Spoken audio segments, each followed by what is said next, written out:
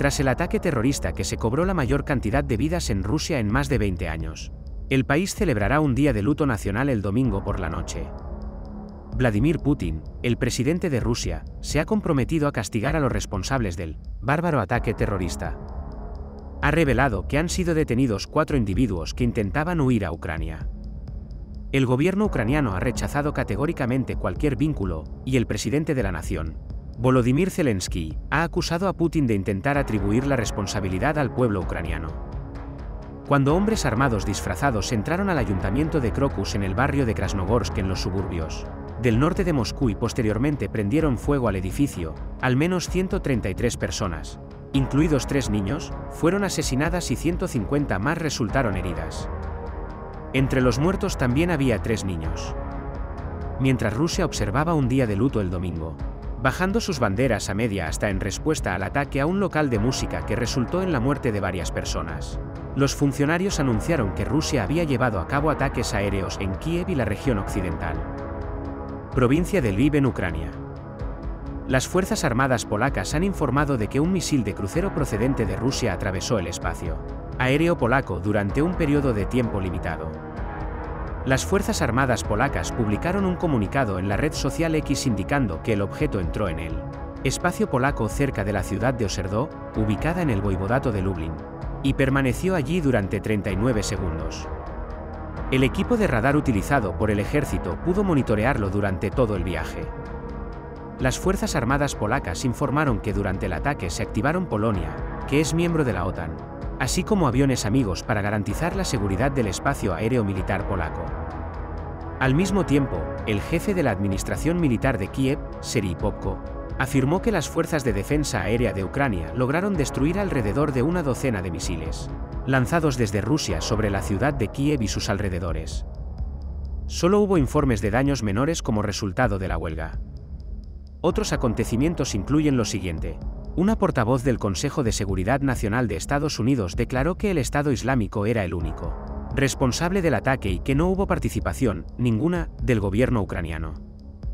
Varias semanas antes, según Adrian Watson, el gobierno de Estados Unidos habló con Rusia sobre un ataque planeado en Moscú. El 7 de marzo, el gobierno de los Estados Unidos también emitió un aviso público para los estadounidenses que vivían en Rusia, ha habido otros especialistas en seguridad que han afirmado que la reivindicación de responsabilidad hecha por él Estado Islámico parece creíble y es consistente con un patrón de operaciones de saqueo anteriores llevadas a cabo por extremistas islamistas. En un comunicado, el propietario del ayuntamiento de Crocus afirmó que la estructura sería restaurada. Nunca olvidaremos a aquellos que fueron asesinados por terroristas, afirmó el gobierno. Según un comunicado emitido por Crocus Group, todo lo que fue destruido por sus manos sucias será restaurado. El grupo publicó un vídeo que el Estado Islámico afirmó que era material del ataque.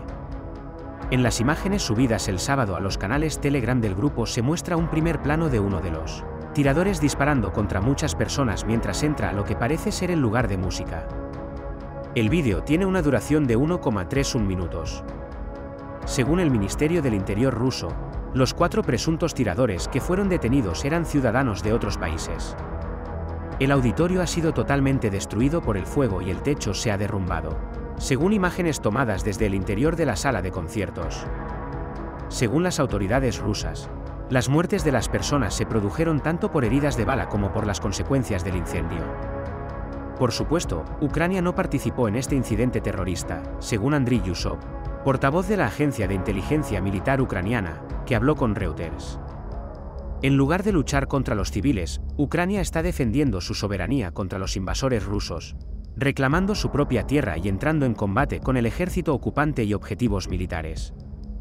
El domingo por la mañana, un ataque aéreo ruso alcanzó importantes infraestructuras en la provincia occidental de Lviv, según el gobernador de la región, Maxim Kozitsky. Según un mensaje que Kozitsky publicó en Telegram, hubo dos ataques preliminares a la misma instalación de infraestructura crítica que atacaron los ocupantes. Durante el transcurso de la noche, el soldado revivió su experiencia como prisionero torturado por Rusia en nuestro evento exclusivo, que forma parte de nuestra serie de eventos virtuales.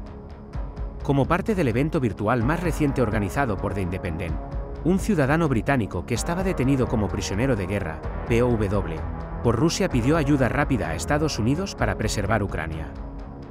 Saum Pine, un veterano que sirvió en el ejército británico durante varios despliegues, sacó a la luz el precario escenario que enfrentan actualmente el presidente Zelensky de Ucrania y el liderazgo militar de la nación. Están discutiendo la posibilidad de convocar a medio millón más de reclutas. Sin embargo, en ausencia de municiones, ¿qué sentido tiene? Se necesita ayuda ahora mismo. Durante nuestro evento exclusivo del 21 de marzo, presentado por Tim Witte, el soldado también recordó su tiempo encarcelado en la ocupada Donetsk después de haber sido obligado a rendirse en Mariupol en 2022. Lo hizo mientras respondía preguntas de los espectadores. Durante su ataque con misiles de crucero al oeste de Ucrania, Rusia violó el espacio aéreo de Polonia sin permiso. Según las Fuerzas Armadas polacas, Rusia violó el espacio aéreo polaco el domingo al lanzar un misil de crucero durante un gran ataque aéreo en el oeste de Ucrania. Además, Rusia inició el ataque desde dentro de Polonia. Apenas unas horas después de que Vladimir Putin prometiera vengarse por el ataque terrorista llevado a cabo por ISIS en una sala de conciertos en Moscú, Rusia llevó a cabo ataques aéreos en o alrededor de varias ciudades clave de Ucrania, incluida Lviv que se encuentra cerca de la frontera polaca y Kiev, la capital oficial de Ucrania. Cualquiera que estuviera involucrado en el ataque sería justa e inevitablemente castigado, según la promesa hecha por el presidente ruso. En recuerdo de los fallecidos en el ataque al local de música, Rusia iza sus banderas a media asta. Es un día de luto por las 133 personas que murieron a tiros en un espectáculo de rock el viernes, un incidente reivindicado por la organización militante conocida como ISIS. Rusia ha bajado sus banderas a media hasta durante el día. Después de comprometerse a identificar y castigar a todos los responsables del ataque, el peor en Rusia en los últimos 20 años, Vladimir Putin anunció un día de duelo para todo el país. En un discurso dirigido ayer al país, el presidente ruso hizo sus primeros comentarios públicos sobre el incidente. Dijo, expreso mi más sentido pésame a todos aquellos que perdieron a sus seres queridos, esa fue su primera declaración pública sobre la tragedia. Todos en este país y cada persona en nuestro país están de duelo con ustedes. Putin no ha hecho ninguna declaración pública sobre el grupo extremista ISIS en relación con los agresores, quienes, según afirmó, intentaban huir a Ucrania. Esto a pesar del hecho de que ISIS se atribuyó el mérito del incidente el viernes y nuevamente ayer dijo que ciertos individuos del lado ucraniano habían hecho planes para transportar a los agresores a través de la frontera, pero no proporcionó ninguna prueba que respaldara sus afirmaciones. Observe, en la escena del incidente en Moscú, se ve a los socorristas rusos caminando entre las ruinas. Actualmente, los equipos de emergencia están excavando entre los escombros para hacer que lo que queda del edificio sea lo más seguro posible después de la masacre que tuvo lugar en Moscú y que provocó la muerte de al menos 140 y tres personas. Después de que el Estado Islámico de Irak y Siria, ISIS, se atribuyera la responsabilidad del incidente que tuvo lugar en el ayuntamiento de Crocus el viernes, 22 de marzo, 11 personas han sido detenidas. Hubo al menos cuatro individuos que comenzaron a disparar contra los clientes mientras esperaban que una banda de rock comenzara a tocar. Después de eso, supuestamente colocaron bombas Molotov, lo que provocó que el edificio se convirtiera en humo se ve a un equipo de rescate ruso caminando entre los escombros en el lugar de un asalto en Moscú que resultó en la muerte de 143 personas.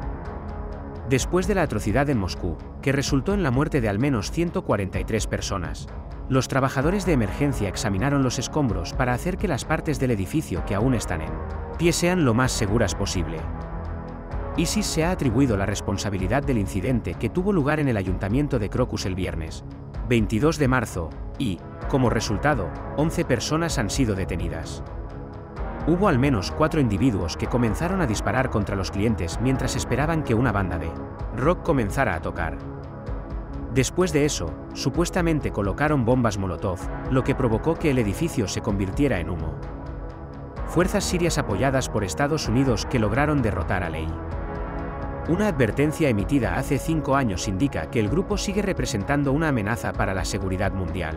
Un equipo apoyado por Estados Unidos que fue responsable de derrotar al grupo Estado Islámico en Siria hace cinco años emitió una advertencia el sábado, afirmando que los extremistas continúan planteando graves peligros en todo el mundo.